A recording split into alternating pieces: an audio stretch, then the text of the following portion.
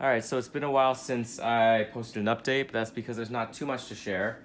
You can see my head, it's been uh, about five or six days since I shaved, and it's still uh, coming in a little bit, but it's enough, uh, there's enough gone for me to be able to go out on the streets and stuff and not look all patchy. Um, I have one treatment today that I'm doing. I'm going to shave and go get that done, and then we'll see if I need another one after that.